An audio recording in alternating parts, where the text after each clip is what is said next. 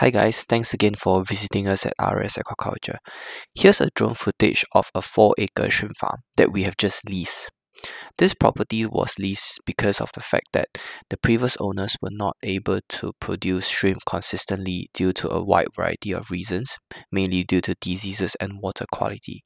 So here at RAS Aquaculture, what we'll be doing with this farm is to perform a makeover in which we'll be utilizing some of the technology and some of the new uh, methods of management to help improve the productivity of this farm. So stay tuned.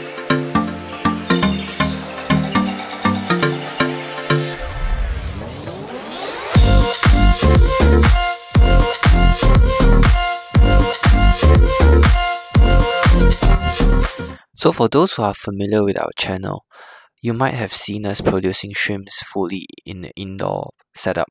So while that's being worked on and being scaled at the moment, we also understand that bulk of the aquaculture production for shrimp in Asia alone still occurs out there in the traditional pond.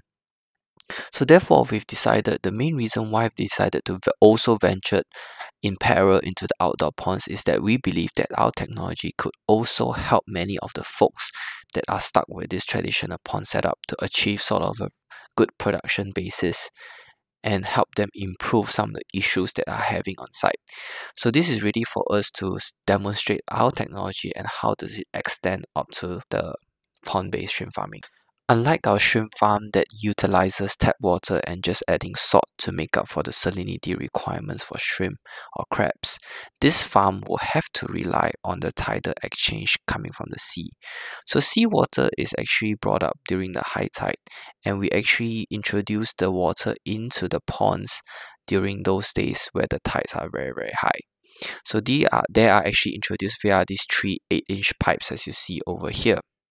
So one very very stark difference being doing indoor farming versus the pond farming is the fact that in ponds you will have to deal with those pests such as snails, crabs and lots of unwanted species that tend to come in with the tide. So these are just some of the species that you typically observe. This includes seaweeds, some fish, mud skippers, and even crabs. So as you can see for most of the pond they can be quite affected due to overall buildup with high waste contents from the previous cultures. So the first step includes for us was to lime the pond uh, to make sure that there's sufficient alkalinity. And the next step is for us to sort of pick out these unwanted species that were introduced in by the tides or left over from the previous cultures.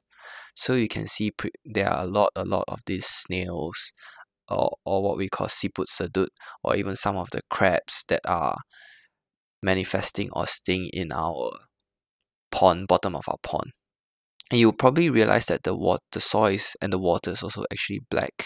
This is actually due to a lot of anaerobic reaction that has been left over from the previous farm, waste farm. Okay, so here we have one of my colleague that is actually scraping off some of the seagrass and some of the snails into a pile before removing them.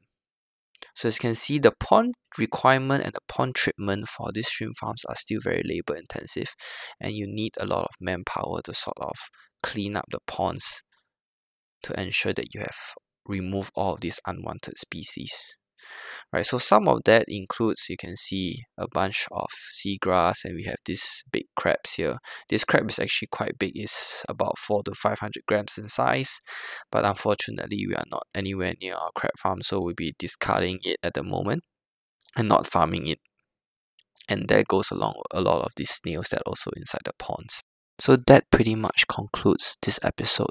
We hope you've enjoyed and follow us on our journey in helping pond-based farmer achieving better productivity and efficiency in culturing shrimps.